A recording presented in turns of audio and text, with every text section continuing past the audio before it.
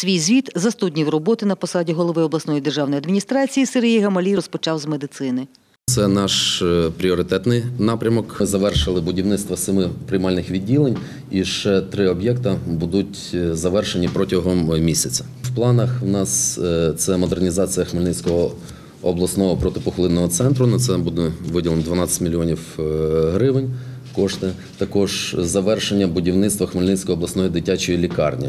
Е, Це кошти близько 79 мільйонів, 71 е, мільйона це кошти ДФРР і 8, майже 8 мільйонів це е, з обласного бюджету. Про темпи вакцинації на Хмельниччині розповів заступник голови Сергій Ткачук. В першій хвилі сьогодні вакцинуються е, це медики, фактично, і е, е, вакцинація є добровільною. Станом на сьогодні е, провакциновано 3488 осіб.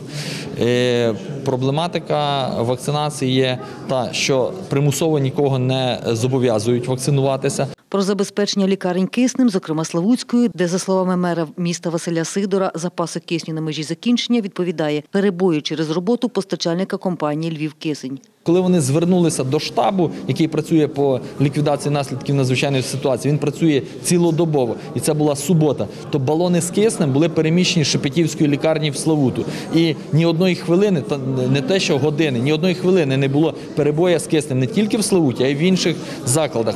Чи вакцинуватиметься особисто, Сергій Гамалій каже. Буду чекати своєї черги. По-перше, якщо це буде потрібно для суспільства, для розуміння того, що е, ну, треба, просто що треба, то зроблю в будь-який час. Просто мені не хотілося б забирати чергу в якоїсь людини.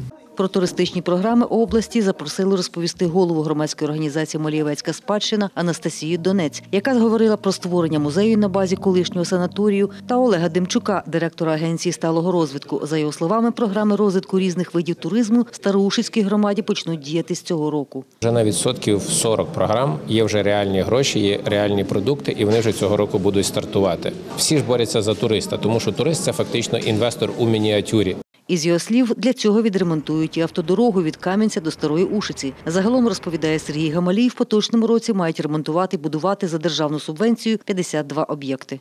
31 вже виготовлена проектно-кошторисну документацію, 29 розпочато тендери. Ремонт автодоріг місцевого значення за загальною протяжністю 75 кілометрів. Це поточний ремонт, виділено 360 мільйонів е, гривень. Зупинився під час звіту своєї роботи за 100 днів Сергій Гамалій і на розвитку інтернет-мережі в області. Каже, завдяки підписаному меморандуму з представниками мобільного оператора 408 населених пунктів області отримали інтернет. Вони е, побудували додатково 83 базові станції. Залучено в проект 37 шкі- шкіл Хмельниччини для підвищення рівня цифровізації. Прес-конференція Сергія Гамалія транслювалася онлайн на ФБ-сторінці облдержадміністрації. Серед присутніх народні депутати чи члени команди голови облдержадміністрації, котрі були доповідачами. Громадських активістів на заході не було. Доктор наук з державного управління Віталій Олуйко вважає. Дуже боляче, що в нашій країні немає державної кадрової політики. Це не політика кадрова, це випадковості. Не замітив за цих 100 днів роботи якісь цікаві ідеї. Взагалі думається, що це невдалий експеримент призначати непідготовлених людей в умовах проведення реформи, епідемії ковіду.